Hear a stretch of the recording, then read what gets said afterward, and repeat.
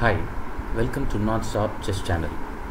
Today we are going to see a game between Rabinovich and Gregory Levenfish. This game was played in 1927. Levenfish was born in Poland but played for Russia.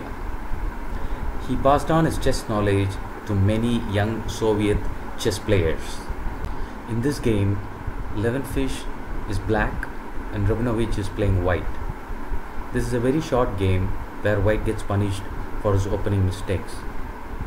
Rabinovich starts with e4 and Levenfish responds with Alekhine defense. Let's look at the moves. e4 knight f6 in opening one of the very important point is a pawn should not be moved twice unless it is very needed. So this is the first mistake that white makes. So knight is forced. Since it's being attacked it's moving. Then white plays knight this is a good move since you have to develop the king side. Black tries to attack the e pawn and now again white makes another mistake of developing the bishop in the wrong square because knight black knight can move to f4 and attack the g2 square where it can give a check or exchange the bishop. The ideal square would have been bishop c4 but here white plays bishop e2 now after black plays knight f4 white has many choice here. He could have castled which actually would have helped him uh, to at least not get mated quickly. But instead he makes the bishop to f1 and another violation to the opening. You should never move the same piece twice unless it is needed in the opening. Black captures the e pawn and then the knight captures the e pawn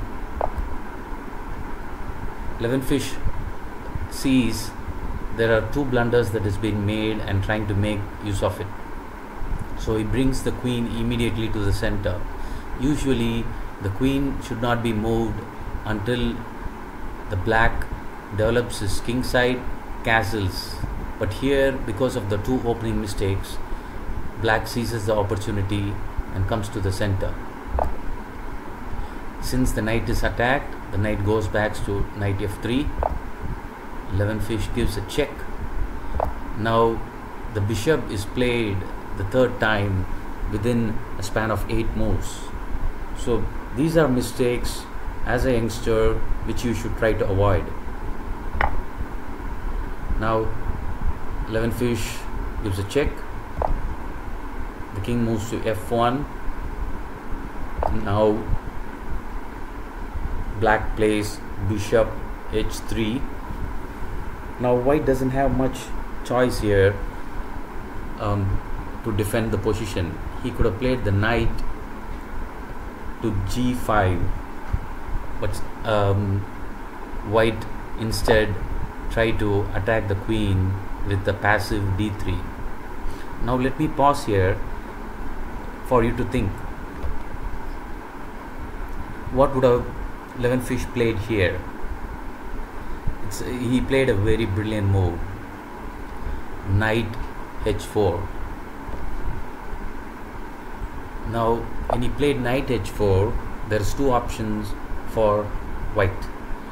One he can come to e1 or king g1 now either of that gets mated. Let's assume he comes to king e1 the knight captures the knight in f3 and checkmate. This bishop cannot move because there is a discovered check by the queen. So let's go back and see what happens if the king moves to g1 again the queen comes to g4 check and mate. There is no defense for the king to go back to f1 or defend it with any piece so hope you all like this uh, brilliant game that was played by Levenfish. If you like the video please share it with your friends. Looking forward to make more such videos from non-stop chess. Thank you